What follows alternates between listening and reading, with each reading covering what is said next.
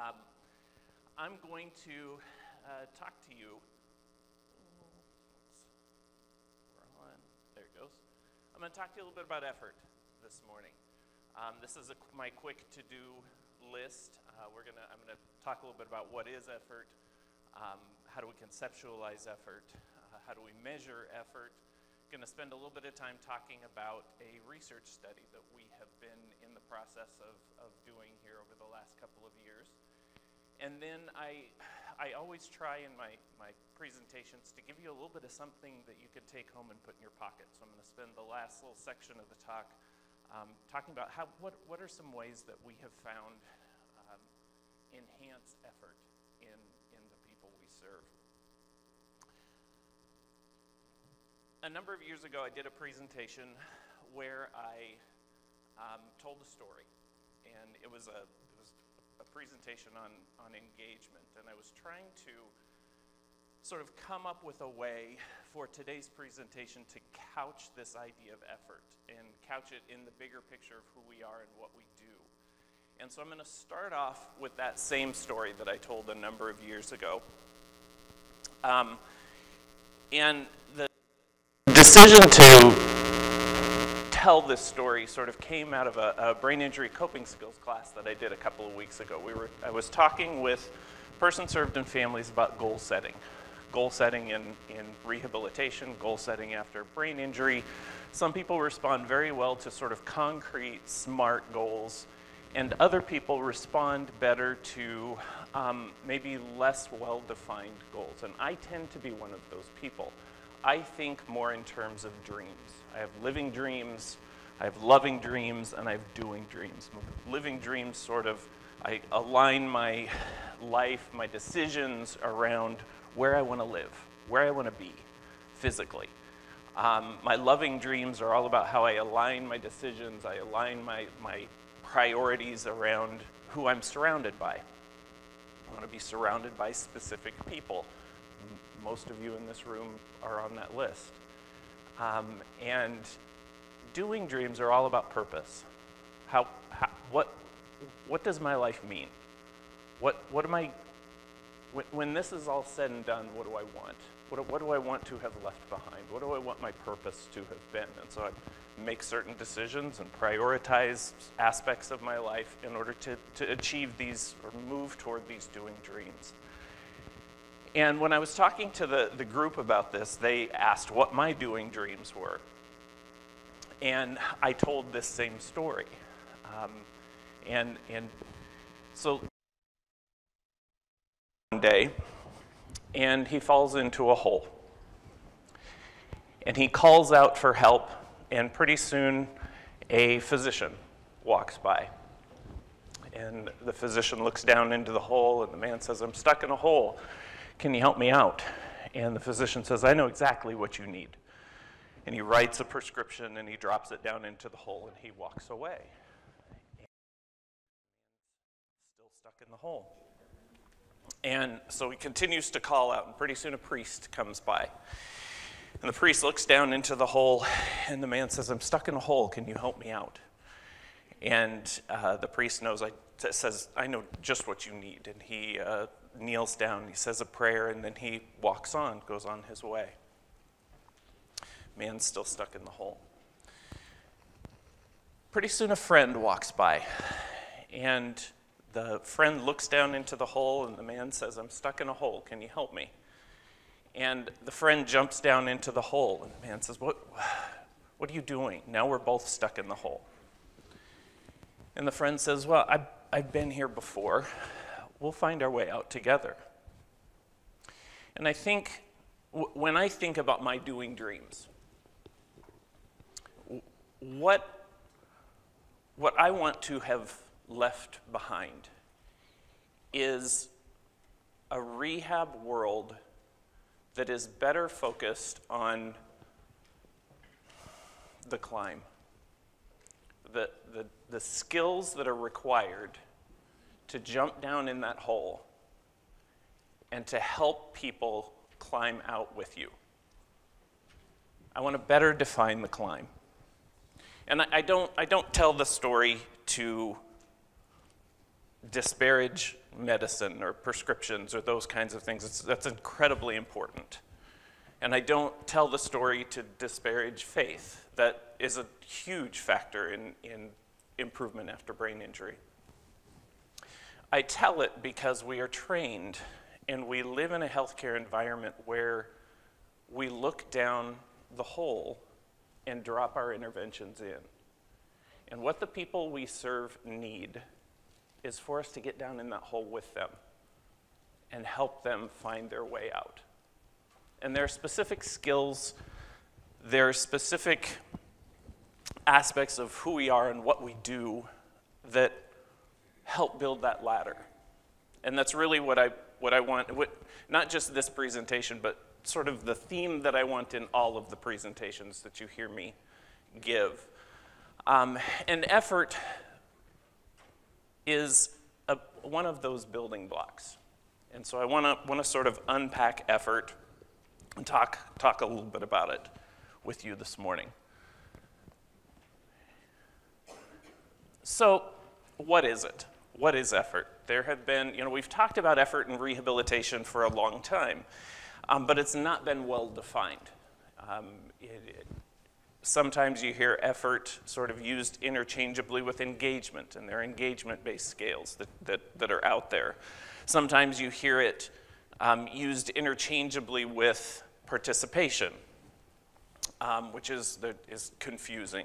Um, and there's general agreement that effort is not a construct in and of itself. Effort is the product of multiple constructs. And I'll unpack that here in, in the next slide. There are a number of rating scales that can be used to rate person-served effort, patient effort, as you, as you work with them. The most well-known is called the Rehabilitation Intensity of Therapy Scale. Um, this, and the, the reference is up there for you. Um, in about 2015, the, that paper was published and it looked at the psychometric properties of the rehabilitation of intensity scale.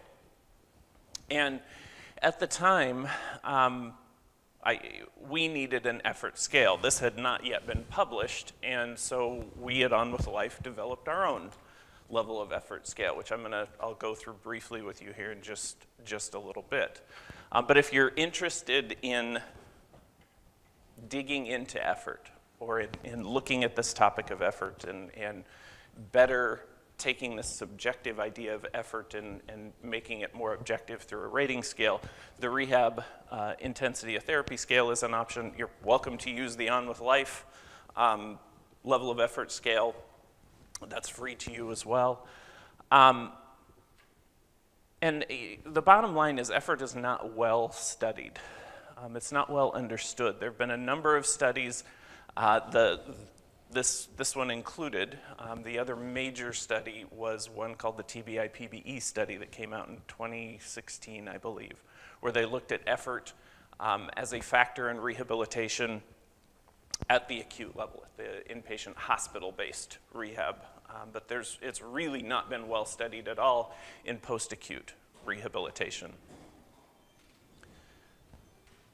So again, effort um, is not necessarily a construct in itself, it is the product of multiple constructs. So we look at how someone's cognitive and emotional status play into their ability to give effort in a, in a session.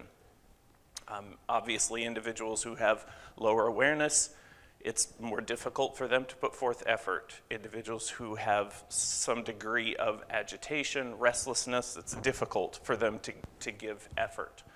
Um, there also, there's also sort of physical and medical based constructs that play into effort, individuals' ability to, to, to give effort, level of arousal, pain, these kinds of factors play into effort.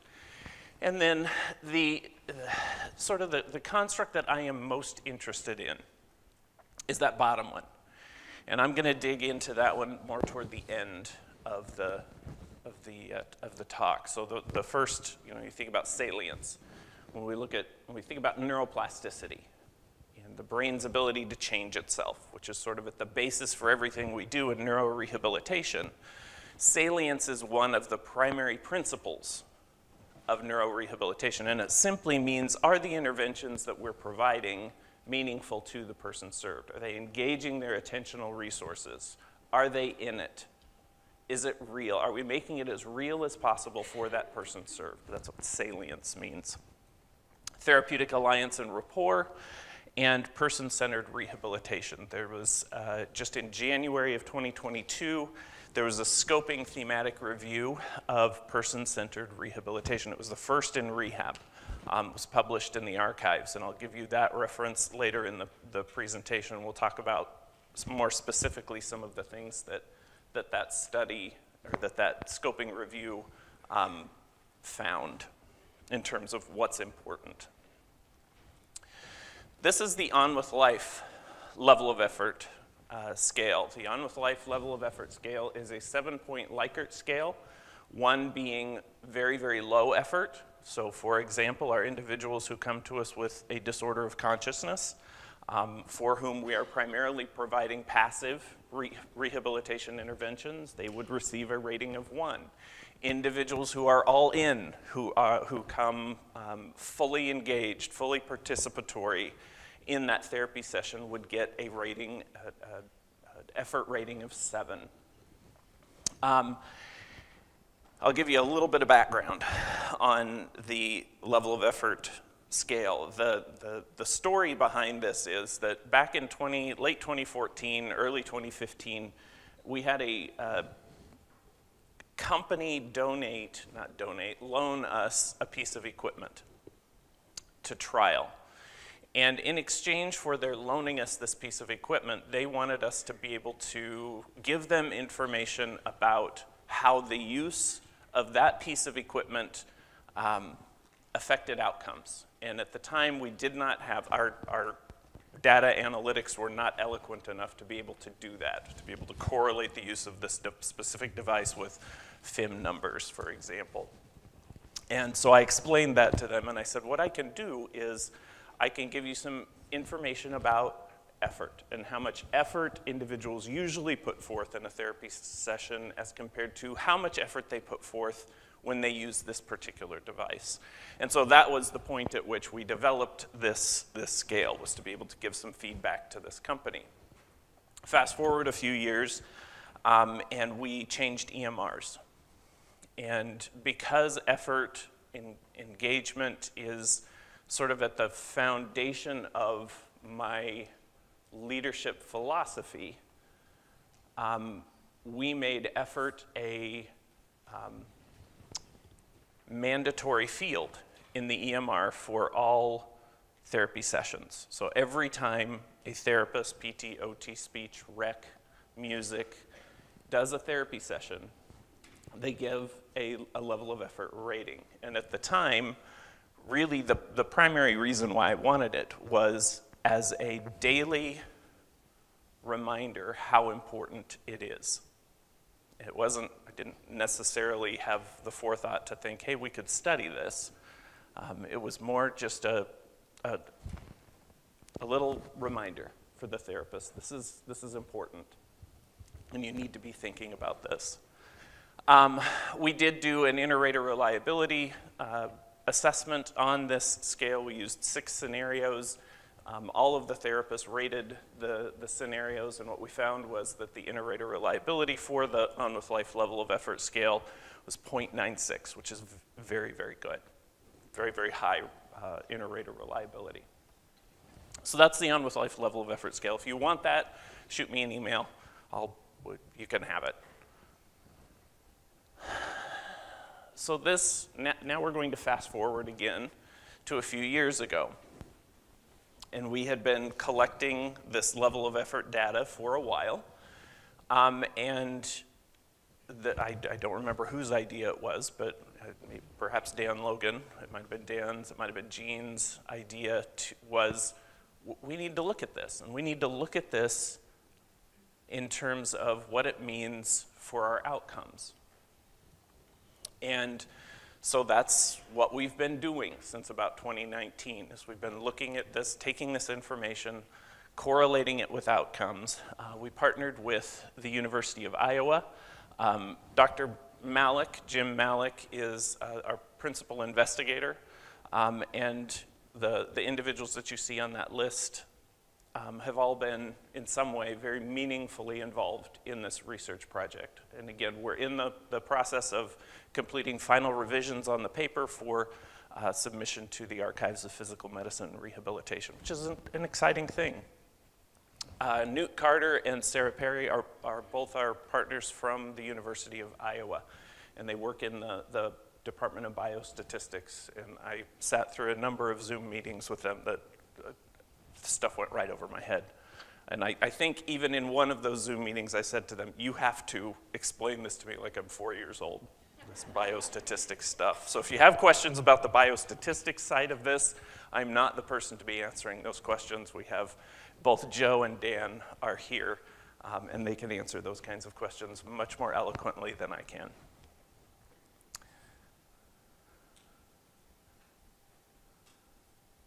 And there we go. All right, so again, the objective of the, the study was to let's look at the role that effort plays in brain injury outcomes. We had about 101 persons served, 101 consecutive uh, admissions. These are individuals who came into our uh, inpatient program.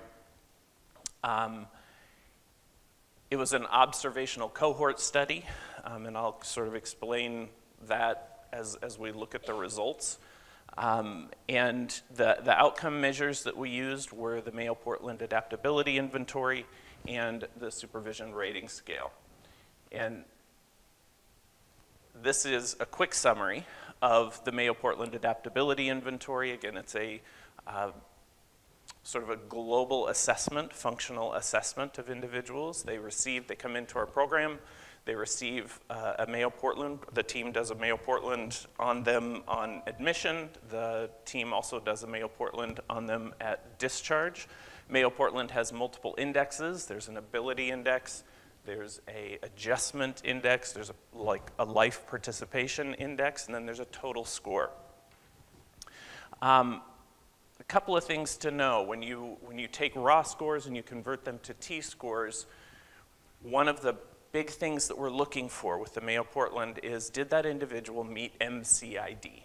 Or minimally clinically important difference. And what minimally clinically important difference means is did they change enough? Did, was, was there enough of a T-score change? Was there enough change in function that it was meaningful both functionally and meaningful to that person served? That's the basic definition of MCID.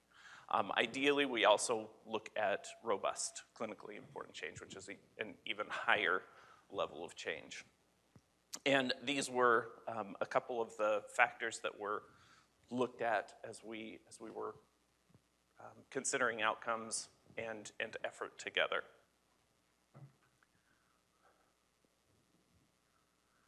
Supervision rating scale um, is a 13-point ordinance scale from um, one being completely independent and 13 being this is an individual in restraints. And again, the SRS is, is completed upon admission to the inpatient program. It's, it's completed upon discharge from the inpatient program. And you've got your, your reference for that at the bottom. So what did we find? Um, strap in. I'm going to do my best.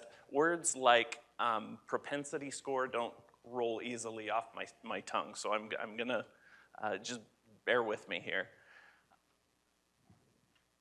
When we looked at who gets better, and we look at what correlates to who gets better, this is some of what we found. Um, admission, Mayo Portland. If an individual has higher levels of impairment on admission, that is associated with higher levels of impairment at discharge. More impairment at admission is correlated to more impairment at discharge. Age, the lower the age at admission, that's correlated to higher, um, not higher, better function at discharge. It's higher and lower is difficult because on the Mayo Portland, if you say it's higher, that means they did worse. And so I always, it, I have to really think about this. Days from injury. The earlier we can get an individual after injury, the better they did functionally at discharge. We knew those things, or at least those kinds of things are fairly well known in the literature, fairly well understood in the literature. What wasn't as well understood was that mean level of effort rating was positively correlated with outcomes. And this is an exciting thing. This is a, this is a neat thing. The higher that mean, we took all of the individuals' uh, level of effort ratings for their entire length of stay, found the mean, and that mean was positively correlated with outcomes.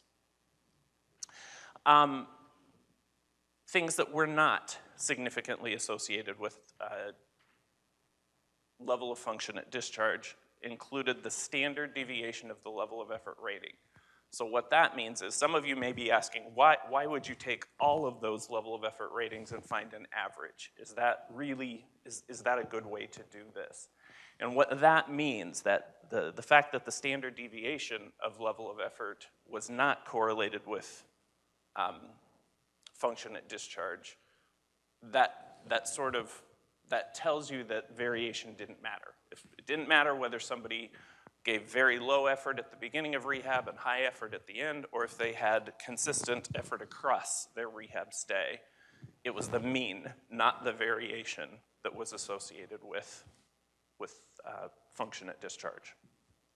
Um, sex, condition, TBI versus non-traumatic brain injury, length of stay, and whether an individual was treated before or during the COVID pandemic. This happened to be a cohort for whom a number of these individuals were treated immediately prior to COVID. Some were treated a little bit before and a little bit during the COVID pandemic, and some were treated completely within the, the COVID pandemic. And what we found was that when they were treated, there, there was no correlation to, to outcome which was a little bit surprising. I actually intuitively sort of thought individuals who were treated in COVID would have had lower um, function, would have had uh, lower discharge, higher discharge, Mayo Portland. All right, discharge uh, supervision rating scale. Um, significantly associated with admission SRS, so this is similar to the previous slide. The, the lower someone, the more impaired someone is on admit, the more impaired they are at discharge. Age, again, lower age um, was correlated with better outcome.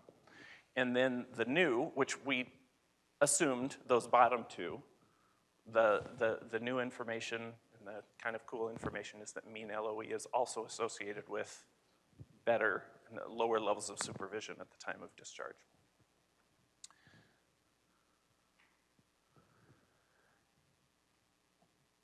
So if we could, what this one is saying was if we could increase that mean level of effort by one point on that seven point Likert scale, if we could increase that by one point, that correlated to an improvement in Mayo Portland of 5.1 on the total score, which is MCID. Five points on Mayo Portland is your minimally clinically important difference. That's a big deal one point in effort. An improvement of one point in effort was correlated with a 1.5 increase in supervision or decrease in supervision. Individuals required a, a lower level of, of supervision, which is also a big deal. You're 8.34 times higher to achieve MCID with every one point of increase in effort.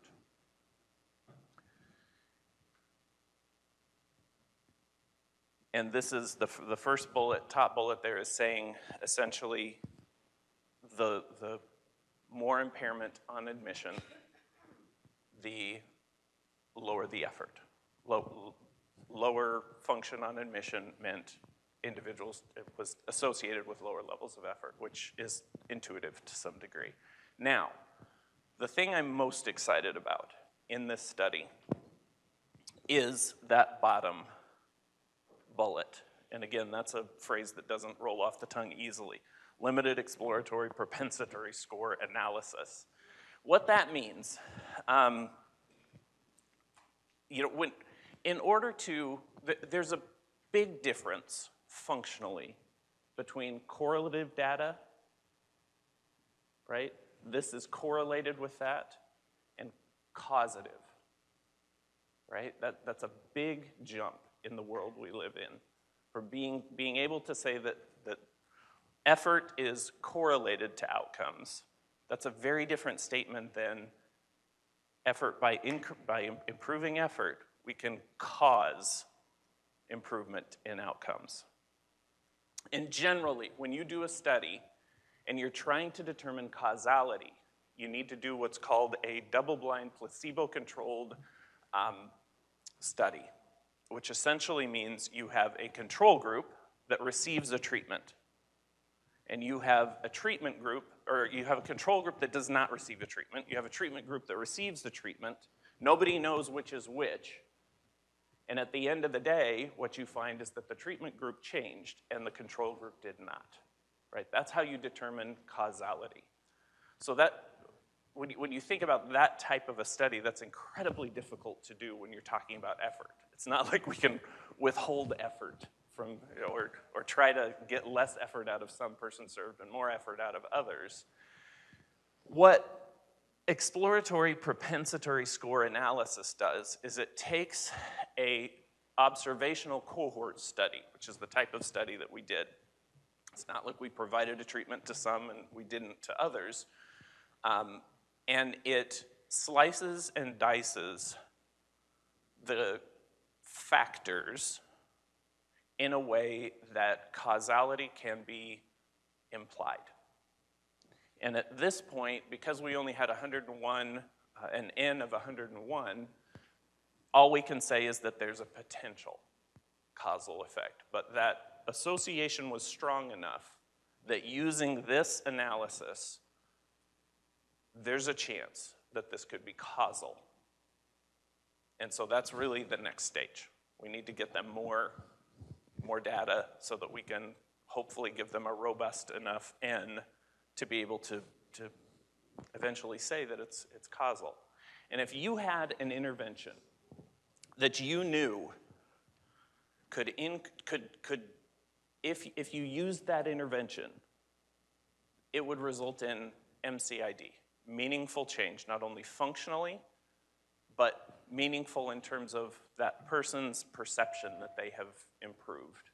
You would use it you would use it with every person served that you, that you encounter. And it would be incredibly cool. We're not there yet, but it would be incredibly cool if we could get there with effort.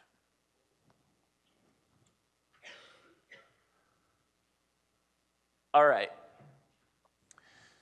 Moving on. And again, with all of my presentations, I try to send you home with something in your pocket. And um, so that's what sort of the, the rest of this presentation is going to be, is so what, right? So, so we know this about effort, so, so what? What next? Um, so again, I want to take, you probably remember that graphic from earlier in the, in the presentation.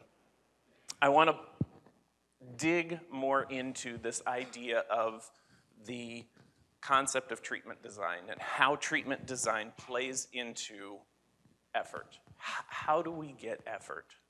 What are the concrete ways in which we can jump down into that hole and help them climb out together?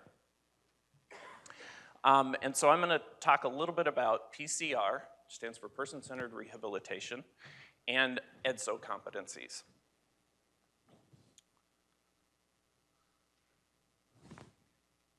There we go. So, what is, I'm going to start with person centered rehabilitation. And again, I'm going to give you the reference for the January 2022 archives scoping review in, in the next slide. So, in general, when we think about what is person centered rehabilitation, person centered rehabilitation is this, you know, from, from, a, from the 10,000 foot level, it's the idea of a shift in mindset from providing rehabilitation to an individual. to providing rehabilitation with. We're moving from to to with, right? We're not standing above the hole and dropping our interventions in. We're jumping into the hole and we're climbing out together.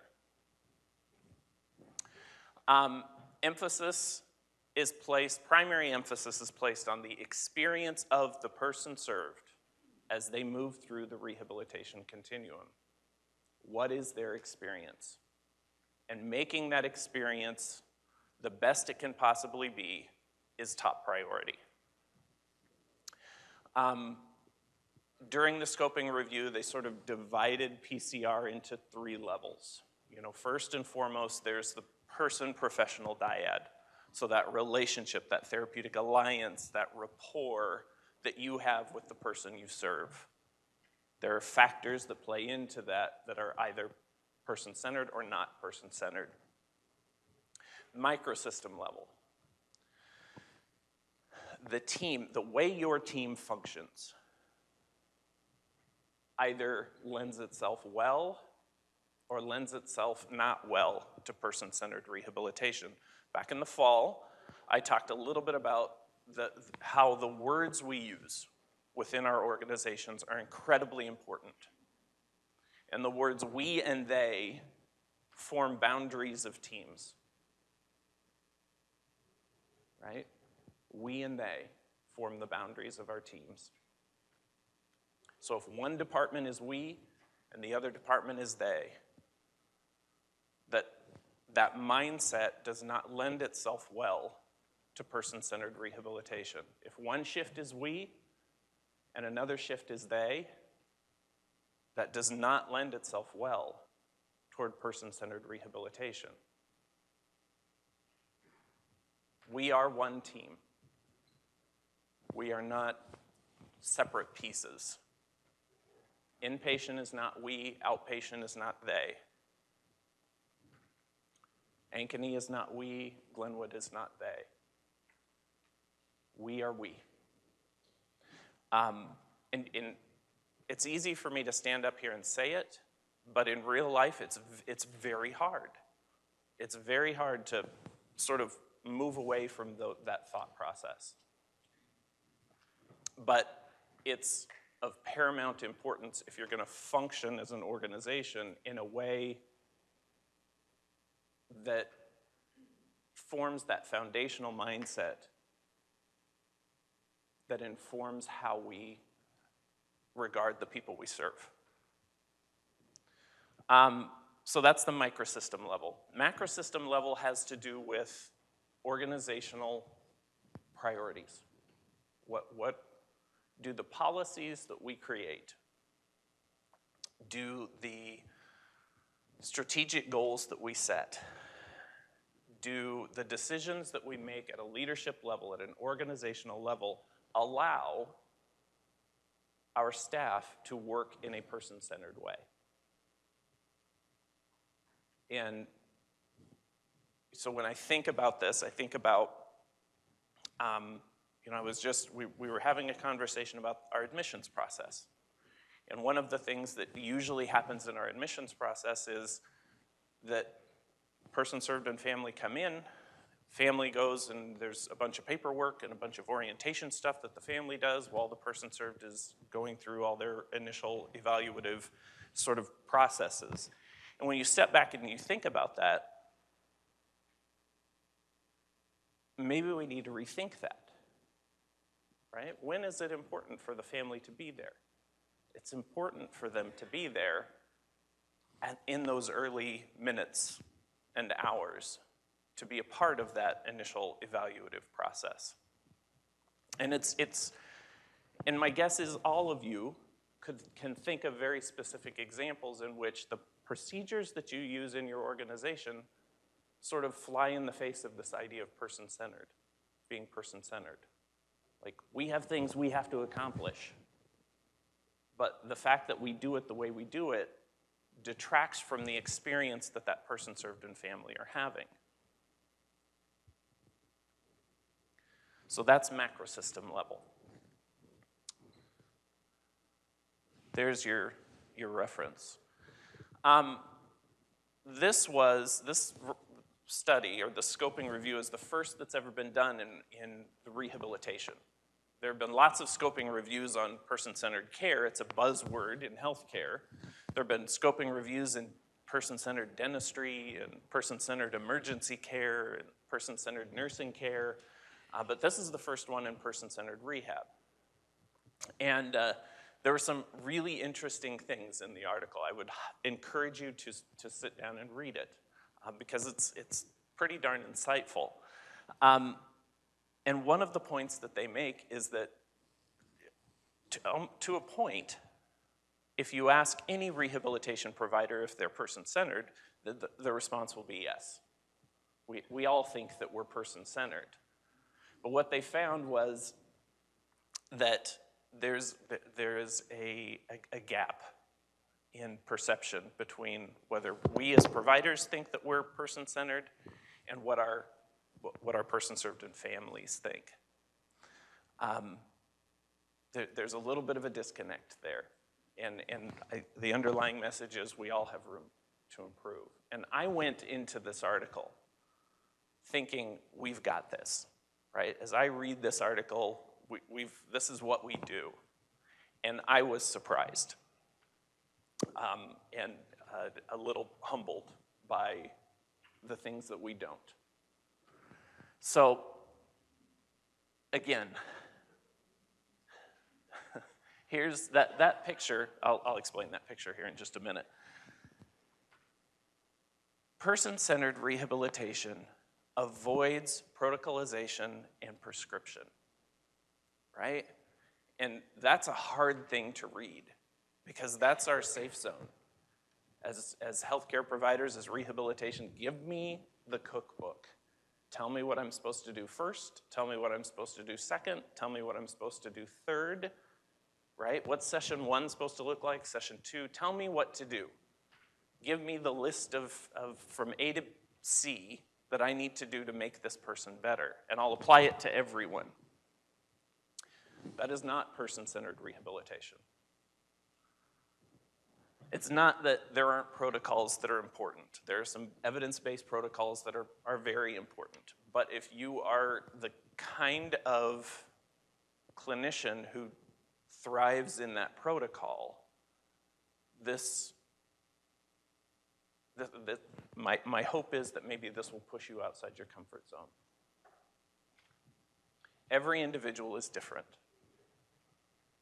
One protocol should not be applied to everyone we see. Um, it prioritizes the relationship over all else. And they reinforce this multiple times in the article. Relationship over all else. And the example, the specific example that they used in the article was this. Um, the goal of the initial evaluation think about, for those of you who are clinicians, think about what your goal is when you go in for that initial evaluation.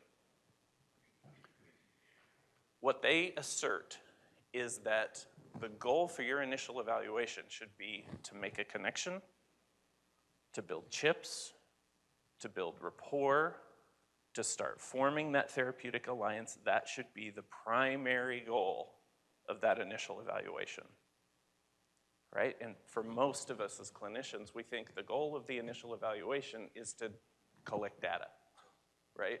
I, as a speech therapist, my initial evaluation, I gotta get in there, I gotta figure out what they can drink and what they can eat so that I can get that information to the, the kitchen and I can get it in the medical record, right? That's what's on my mind from a clinical standpoint in terms of what's important in that initial evaluation. That's, we have to start to flip our thinking and focus on the importance of making and building connections with the people we serve from, from moment one. Connects with the person served outside of required time. So, Kathy Herring uh, was one of our founding families and uh, was our admissions coordinator for many, many years at On With Life. And Kathy, 20 some years after it occurred would regularly tell a story about, and, and for those of you who aren't aware, On With Life Um, when, when Kathy and the founding families were sort of thinking about conceptualizing what they wanted On With Life to be and how they wanted On With Life to function, much of that was based on Kathy's experience with her son, Rob, as he was going through uh, annual evaluations at Craig Rehabilitation um, back in the 1980s. And Kathy often told the story of uh, one day she was sitting in the cafeteria by herself, eating lunch, and one of Rob's physicians happened by with a cup of coffee. And he sat down and just talked to her for 10 minutes, 10, 15 minutes. He sat there and just, just had a conversation with her. And the fact that he did that, the fact that he sat down with her at a time that he, you know, he wasn't required to sit down with her, and had a conversation about something other than Rob and Rob's condition that had a profound effect on Kathy. And again, it was 15 minutes out of that physician's time, but Kathy was still talking about it 25 years after it actually happened. It made that big of a difference. So that when I read that in the article, I, that story from Kathy immediately came to mind. Requires the professional to be a little bit vulnerable. The picture you see up there is uh, from every year with the exception of 2020 and 2021, we did a uh, what's called a sweetheart dinner. It's a Valentine's Day celebration. Person served get dressed up, their families get dressed up, uh, staff help uh, makeup. They do. Uh, we have a photo booth. And this year we is the first year that we did a dance. We sort of did a combined um, sweetheart dinner and a dance party afterwards and that person served. It, it, it is a miracle that we, I, I, don't, I don't know that any of us in the first few months would have ever thought that we would have gotten that picture from that person served. He was a little grumpy. Um, and what it required was for that therapist to be just a little bit vulnerable. And as soon as she was a little bit vulnerable, that's what the result was. And we, from this year on, we will do a dance party at every sweetheart dinner. It was, uh, it was, it was a lot of fun. All right, so that's PCR. Again, I would highly encourage you. There's a lot more in that article uh, than what I shared. Um, so I would highly encourage you to, to check it out. On to the next topic, EdSO. And again, I presented on this a number of years ago, so I don't, I'm not gonna belabor this, so I'll get through it relatively quickly. Um, back when I started thinking about this idea of effort and the importance of effort, the importance of engagement in rehabilitation, um, and started thinking about how do I take this sort of fuzzy concept of effort, of engagement, and make it a little bit more concrete and start to focus on what that means in terms of how we think about what we do with our person served. Um, I just coincidentally was asked to do the professionalism in service at On With Life. Um, and I knew nothing about professionalism, so I went to the library and I checked out some books. And two of the books that I checked out were Start With Why and Leaders Eat Last. Both of them are by a, an author, public speaker named Simon Sinek. And Start With Why is all about aligning your why with your organization's why. So that story that I told earlier about my doing dreams that doing dream, one of the reasons I've been it on with life for 20 years is because that doing dream aligns itself well with the mission of On With Life. I've, I've found this organization that my why aligns well with my organization's why. So, anyway, that was one of them. The other one was Leaders Eat Last. And Leaders Eat Last has a lot of information, but I specifically keyed in on this idea of EDSO. EDSO is an acronym. It stands for endorphins, dopamine, serotonin, and oxytocin. And these are, when, when we think about that life is good feeling, I hope that all of you have had this experience where you just, you feel good. You feel happy. You, you feel content. That, those feelings are the direct result of neurotransmitters. And the, the, there are a lot of neurotransmitters that are involved in that. Um, this is a big time oversimplification of that, but these are some of the biggies. Um, endorphins we get from exercise, dopamine we get from set, setting and meeting goals, uh, serotonin we get from growth, and oxytocin we get from giving back. And so I read these books, I applied them um, to the professionalism in service, and sort of left it at that. At the time, I sort of left it with that. And a couple of weeks later, I had to step into a speech therapy session. We had an outpatient speech uh, individual who was there for outpatient speech. Her name was Mary. Her clinician went home sick, and so I stepped in sort of cold and had to do this therapy session. And I didn't know anything about Mary at the time. I read very quickly her previous note. I knew that they were working on executive function, so I sat down with Mary and we started to do a, a sort of a rote executive functioning problem solving reasoning task. Um, and within four or five minutes, I re- realized that Mary wasn't having it. I wasn't getting effort, I wasn't getting engagement out of Mary. And so I, I stopped and, and I just asked a little bit, you know, again, when you think about PCR, I was going into that interaction thinking, what do I need to accomplish during this session, right? Instead of going into that session thinking, what does she need? How do I make her experience the best it can possibly be? And so I, I, I sort of sat back. I said, Mary, tell me about yourself. You know, t- talk to me about who you are, sort of what's, what's your story. And these are the things she shared. She was about a year post. Um, her husband was a severe alcoholic, lots of issues at home. Uh, she'd gained about 35 pounds in the year since her injury. And most of her time she spent at home watching television. And so after we'd talked for a couple of minutes, I said, Well, okay, Mary, we have about a half an hour left in this session. What's one thing, if we could accomplish one thing in the next half hour that would make you feel like your time with me was well spent, that your time with me was worth it? What's that? What's one thing that we can accomplish? And she said, I just want to be happier. And I thought, crap. what, what, what am I going to do with that? Right? But I had just given this, you know, two weeks prior, I had just done this professional professionalism in services on EDSO, all of the, well, some of the, the neurotransmitters that um, result in the feeling of happiness. And so I sort of talked through EDSO with her, and I'll, at the, at the end of the presentation, I'll, I'll talk through sort of what the outcome of that session was. So let's take just a couple of minutes and we'll, we'll, we'll talk about EDSO.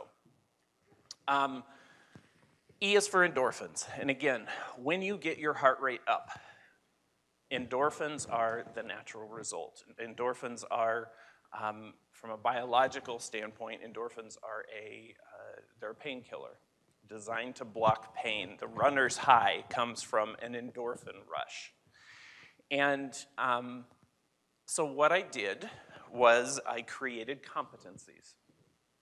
Competencies for the therapist. And, and it, they don't work like normal competencies do, they're more of a self check, a self assessment. So, on an annual basis, all of the therapists go through their EDSO competency sort of self check um, to sort of gut check and, and remind them, you know, am I doing these things?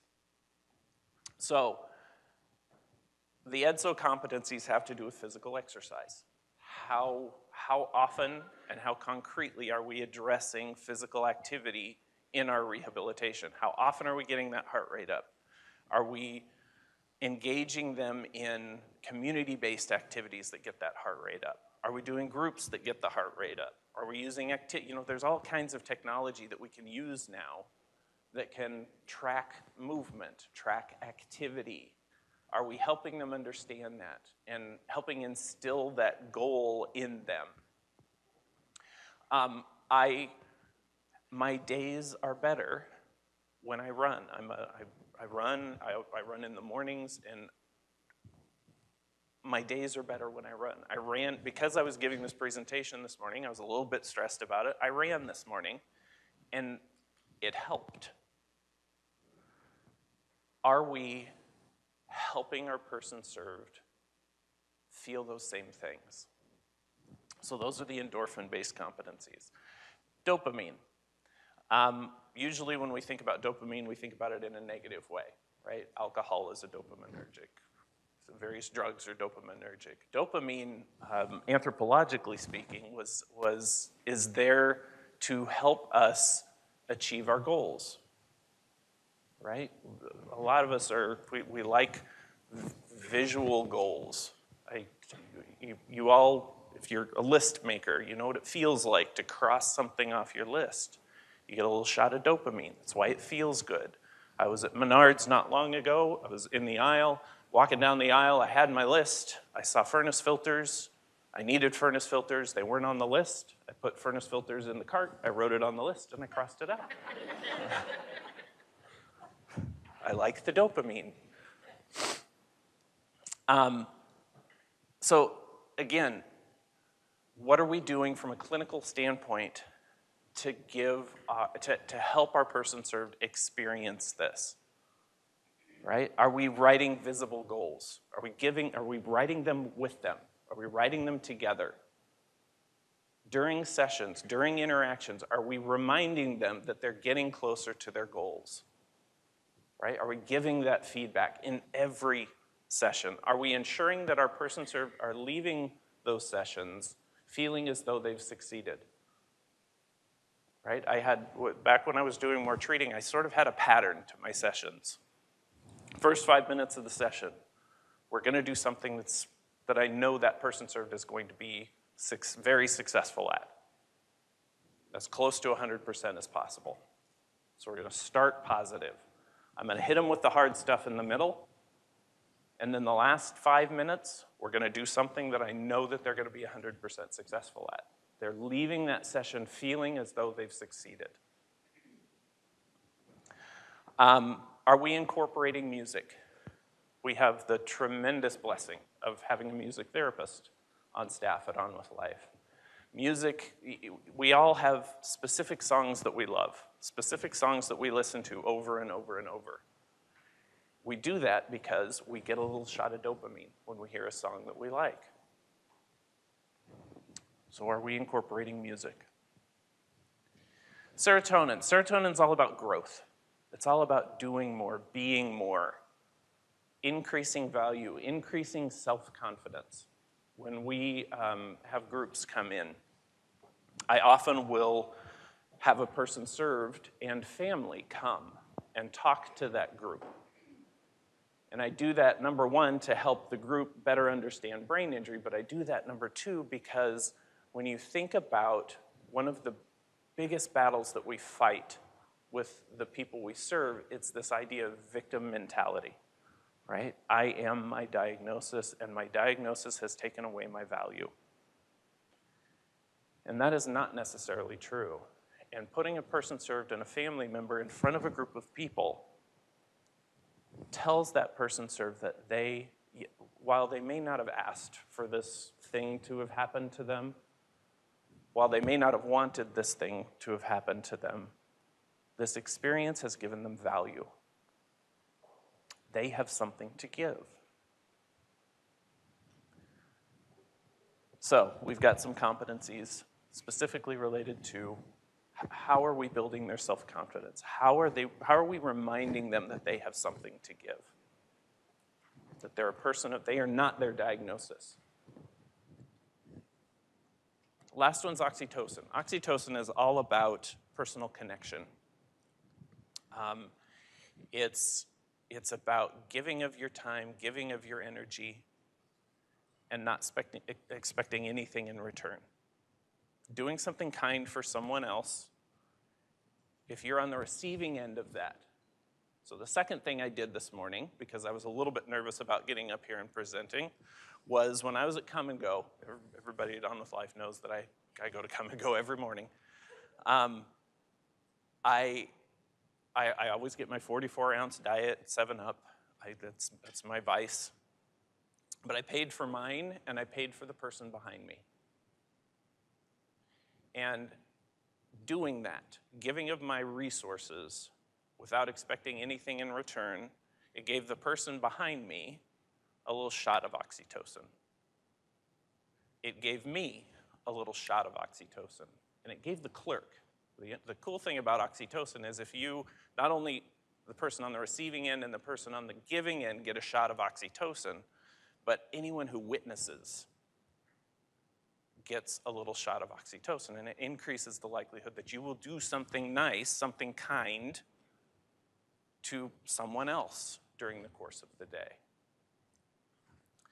Um, and we have some competencies specifically related to that, right?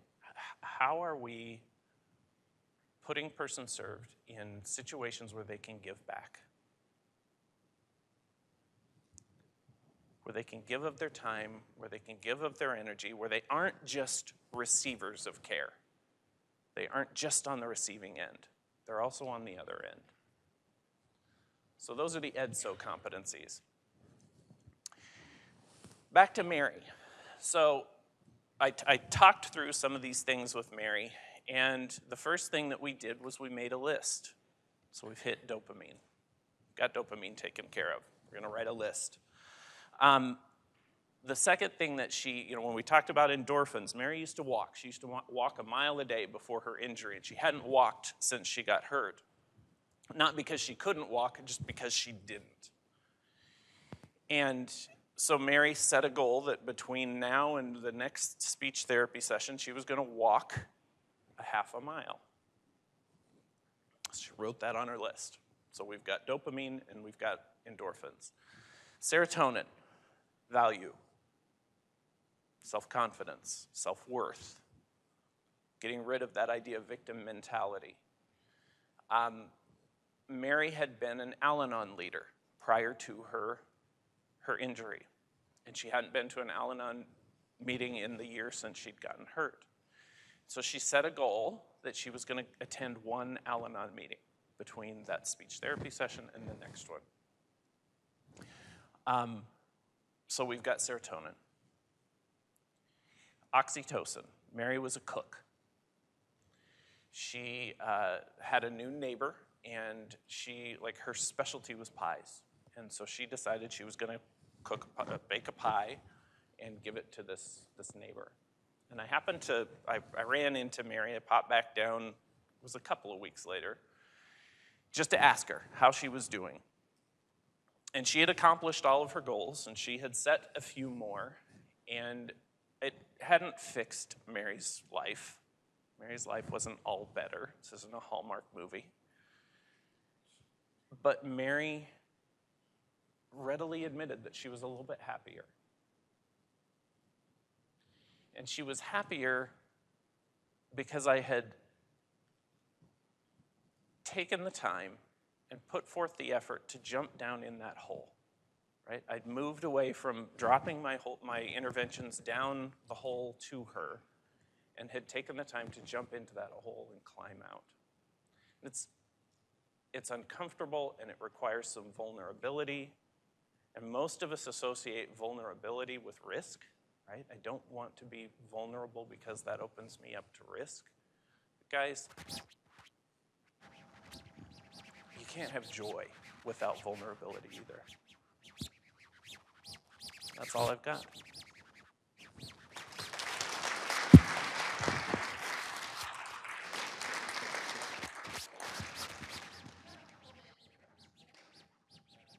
Anybody have questions? I have one from the chat.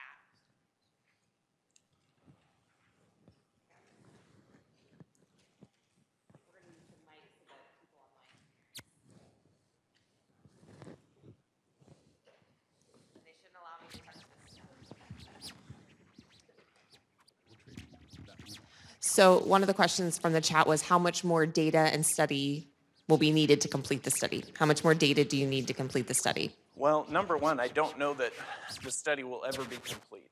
I, I, my goal would be that it's never complete, right? We, we, it gets better and better and better ongoing. What, uh, Joe, do you have any sense? Do we need, how many more other than the N of 101 do we need in order to be able to do a big enough for a exploratory propensity, whatever it is, to, to be able to